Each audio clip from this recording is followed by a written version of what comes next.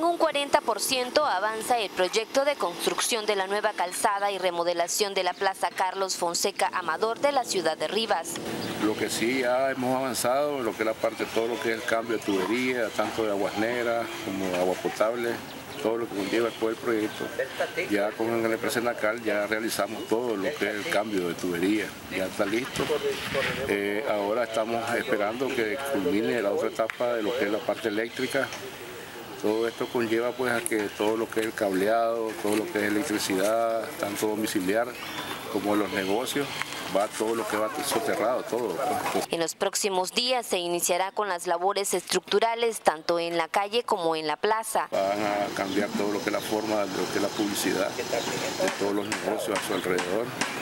E igualmente eh, se tiene que también trabajar colores eh, de lo que es la fachada de cada uno de los edificios y casas domiciliares. También posteriormente vamos a trabajar lo que es la parte, ya lo que es el centro histórico, una ordenanza del centro histórico eh, del, del, municipio de Rivas, que conlleva también a otros lugares que tenemos que ir trabajando también.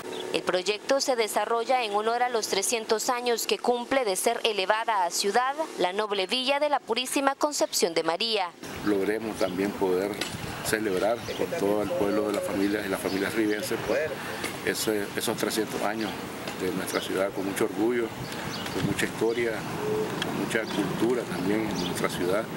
Yo creo pues, que aquí esto le va a dar un cambio rotundo también, tanto a las familias ribenses, a las oportunidades de, crear mejores espacios, mejores negocios y mejores espacios para la convivencia familiar.